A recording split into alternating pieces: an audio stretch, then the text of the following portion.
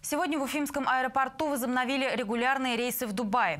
Вылеты планируются три раза в неделю в рамках осенне-зимнего расписания. На самолете рассчитано на 174 пассажира. Стоимость билетов туда и обратно от 19 300 рублей. Продолжительность полетов 5 часов.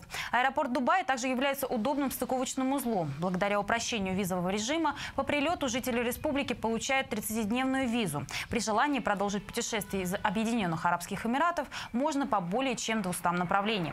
Как сообщает Башинформ, полетная программа продлится до 24 марта 2018 года.